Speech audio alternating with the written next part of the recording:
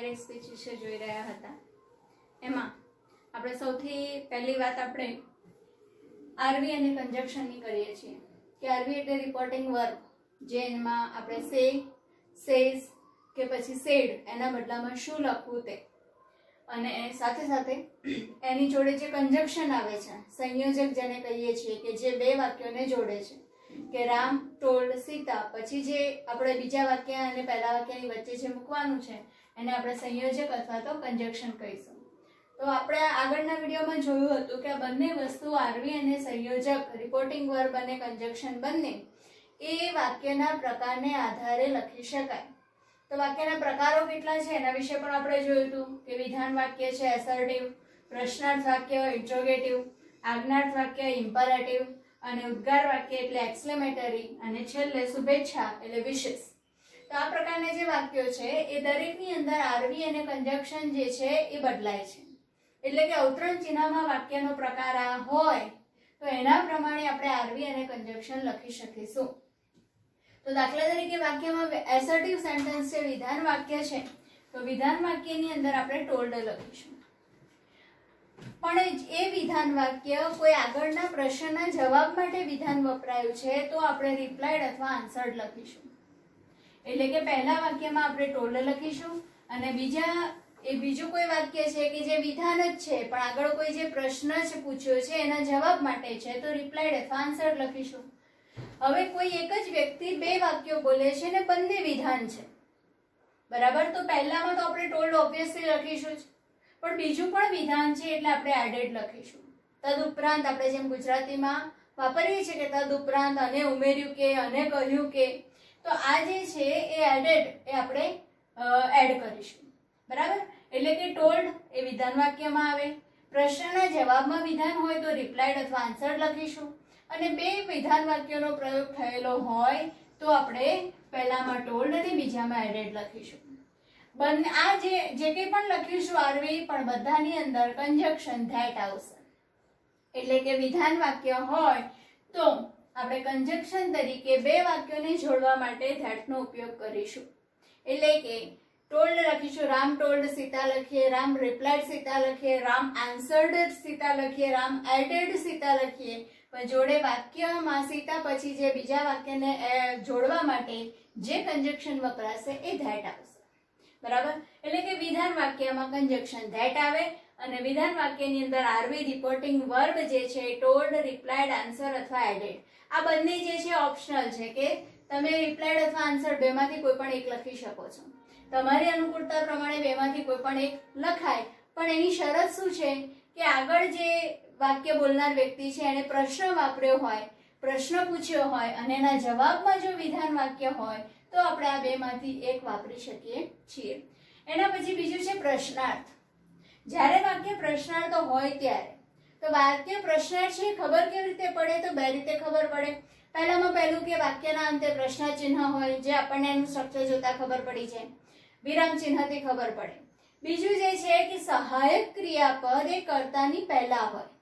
બરાબર? કે જે હાકીનામાં જવાબ આવે એવા પ્રશ્નો છે. એમાં is am are was why do did has have had can may will shall આ બધા જે છે એ આગળ હોય કરતાના એટલે વાક્ય પ્રશ્ન છે. અને ત્રીજી વસ્તુ કે what where when how many how much આ બધા જે પ્રશ્નસૂચક શબ્દો છે, એનાથી જો વાક્ય ફ્રેમ થયું હોય, તો એ વાક્ય આપણને પ્રશ્નાર્થ લાગે છે. તો જ્યારે જ્યારે પ્રશ્નાર્થ વાક્ય આવશે, ત્યારે ત્યારે આરવી આસ્કડ આવશે આપણે અહીંયા જોયું કે અહીંયા આરવી આપણને ઓપ્શન આપ્યા છે ત્રણ અને કન્જક્શન એક જ છે. જ્યારે અહીંયા આપણને આરવીમાં એક જ શબ્દ છે આસ્કડ પણ જો પ્રશ્નાર્થ વાક્ય એ સાદું પ્રશ્નાર્થ હોય. સાદું પ્રશ્નાર્થ એટલે કે જેનો જવાબ હા કે નામાં આવે તેવા. કાં તો જેમાં સહાયક ક્રિયાપદ આગળ છે ટુ બીનું રૂપ આગળ છે, એવા પ્રશ્નો જે છે, એવા વાક્યોમાં કન્જક્શન તરીકે આપણે ઈફ અથવા વેધરનો ઉપયોગ કરીશું. કે જે પ્રશ્નોની આગળ વાક્ય પ્રશ્ન છે, પણ કોઈ પ્રશ્ન સૂચક શબ્દ વપરાયો નથી. અને વાક્ય સહાયક ક્રિયાપદને આગળ મૂકીને કરવામાં આવેલું છે, તો ઇફ અથવા વેધરનો ઉપયોગ કરીશું. અને બીજું, જો વાક્યની અંદર વાક્યને પ્રશ્ન ડબલ્યુએચથી બનાવવામાં આવેલું છે, એટલે કે what where when how many how much whom આવા પ્રશ્ન સૂચક શબ્દો વડે વાક્યને પ્રશ્નાર્થ બનાવવામાં આવેલું છે, તો જે પ્રશ્ન સૂચક શબ્દ વડે વાક્ય પ્રશ્નાર્થ બન્યું છે, એ શબ્દ પોતે વોટ હોય તો વોટ હુ હોય તો હુ હાઉ મેની હોય તો હાઉ મેની વેર હોય તો વેર વેન હોય તો વેન એ શબ્દ પોતે જ કન્જક્શન બનશે. એટલે આવા જે જે પ્રશ્નસૂચક શબ્દવાળા પ્રશ્નાર્થ વાક્યો છે, એમાં આપણે કન્જક્શન યાદ રાખવાની જરૂર નથી, એ શબ્દ પોતે જ આપણે લેવાનો છે. હવે એ શબ્દ આપણે સંયોજક બનાવી દઈશું, એટલે બાકીનું વાક્ય સાદું પ્રશ્નાર્થ બની જશે. બરાબર? એટલે એ સાદા પ્રશ્નાર્થ પ્રમાણે આપણે આગળ વધવાનું છે. પછી છે આજ્ઞાર્થ. એટલે કે ઇમ્પરેટિવ સેન્ટેન્સીસ ઇમ્પરેટિવ સેન્ટેન્સીસની અંદર આરવીની અંદર આપણને ઘણી બધી વેરાયટીઝ જોવા મળે છે. કે વાક્યના ભાવ પ્રમાણે વાક્યમાં કયો ભાવ વપરાયો છે, કઈ ફિલિંગ છે એના આધારે આપણે આરવી લખવાનું છે. જો એની અંદર વિનંતી કરવામાં આવી હોય તો રિક્વેસ્ટ વાપરીશું, ચેતવણી આપી હોય તો વોર્નિંગ વાપરીશું, સલાહ આપી હોય તો એડવાઇસ વાપરીશું આજ્ઞા કરવામાં આવી હોય તો ઓર્ડર વાપરીશું, હુકમ કરવામાં આવ્યો હોય તો કમાન્ડ વાપરીશું, સૂચન કરવામાં આવ્યું હોય તો ઇન્સ્ટ્રક્ટેડ આપીશું, સૂચના આપવાની હોય તો ઇન્સ્ટ્રક્ટેડ અને સૂચન કરવાનું હોય તો સજેસ્ટેડ શબ્દ વાપરીશું. લેટ્સ વાળું વાક્ય હોય તો એની અંદર પ્રપોઝડ વાપરી શકાય. તો આવા વેરાયટી વાળા જે શબ્દો છે એ આપણે આજ્ઞાર્થ વાક્યમાં મૂકી શકીએ. કે વાક્યમાં જે ભાવ છે એ પ્રમાણે આપણે એનો આરવી બદલી શકીએ છીએ. હવે આરવી બે પ્રકારના હોય છે. સોરી આજ્ઞાર્થ વાક્યો બે પ્રકારના હોય છે, કે હકાર અને નકાર.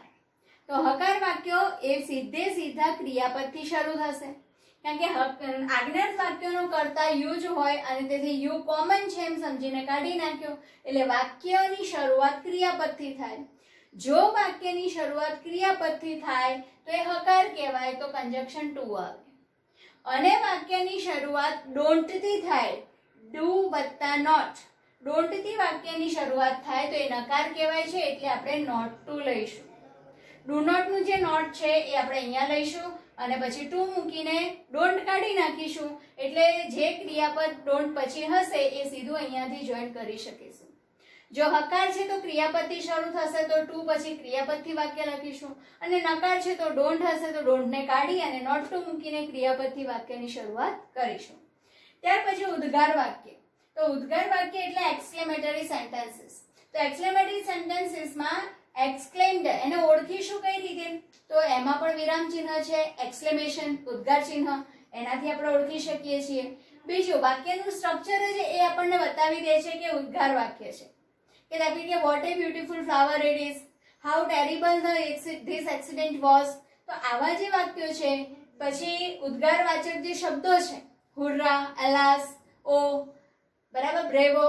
તો આ બધા જે શબ્દો છે એ બતાવે છે કે વાક્ય ઉદ્ગાર છે એટલે આપણે એક્સક્લેમને લખીશું. એની સાથે પણ જો ભાવ આપણે જોડવો હોય, એમાં કહેવાનો ભાવાર્થ જોડવો હોય તો with sorrow exclaimed with joy exclaimed with surprise exclaimed with praise આવા શબ્દો પણ વાપરી શકીએ છીએ. અને એ વાક્યને, ઉદ્ગાર વાક્યને આપણે પહેલા વિધાન બનાવવાનું છે અને પછી એને ઇન્ડાયરેક્ટ કરવાનું છે એટલે એનું સંયોજક પણ આપણે ધ્યાન લઈશું જે અહીંયા પણ છે. કે વિધાન બનાવીશું એટલે સેમ ટુ સેમ આ બની જશે અને એના કારણે આપણે ત્યાં ધેટ લઈશું. હવે છેલ્લું છે શુભેચ્છા દર્શક, એટલે કે વિશેષ સૌથી સહેલો આ છે. કારણ કે જ્યારે વિશેષ હશે ને ત્યારે આપણે આરવી વિશ્ડ અથવા ગ્રીટેડ લેવાનું છે. અને એ લીધા પછી આપણે એમાં કન્જક્શન કઈ જ ના મૂકતા, સીધે સીધું વિશેષ મૂકીશું.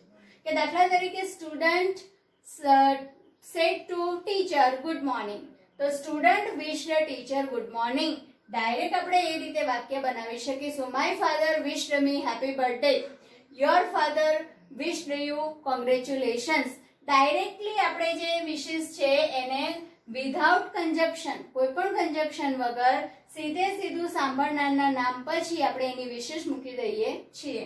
અને આરવીમાં સેટુના બદલે આપણે વિશ્ર અથવા ગ્રીટેડ મૂકીશું. તો આમ જુદા જુદા ટાઈપના જે વાક્યો છે, એ વાક્યોની અંદર વાક્યનો પ્રકાર ઓળખીશું, એ ઓળખ્યા પછી એનો આરવી લખીશું અને પછી એનું કંજક્શન લખીશું. હવે જે પ્રશ્નાર્થ વાક્ય છે પ્રશ્નાર્થને જ્યારે આપણે અહીંયા આટલું સાદા પ્રશ્નમાં ઇફ અથવા વેધર કે ડબ્લ્યુએચ મૂકી દીધા પછી જે વાક્ય રહેશે સાદું પ્રશ્નાર્થ, એ સાદા પ્રશ્નાર્થને આપણે પહેલા વિધાન બનાવીશું, એટલે કે જે કરતા બીજા નંબરે છે એને આપણે પહેલા નંબરે લાવીશું અને પછી એનું ઇન્ડાયરેક્ટ કરીશું. બરાબર? આ તો વિધાન જ છે અને વિધાન બનાવીને કરીશું. આ જે છે, એની અંદર સીધું ક્રિયાપદ હશે એટલે ક્રિયાપદ હશે તો ટુ થી ડોન્ટ હશે તો ડોન્ટ કાઢીને નોટ ટુ થી કરીશું.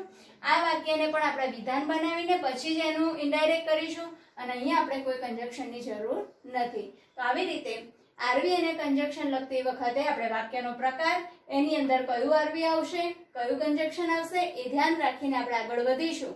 તો કદાચ આપણે એને ન્યાય પૂરેપૂરો આપી શકીશું Friends, subscribe my channel on YouTube like, share and review my Facebook page English Teacher underscore RS.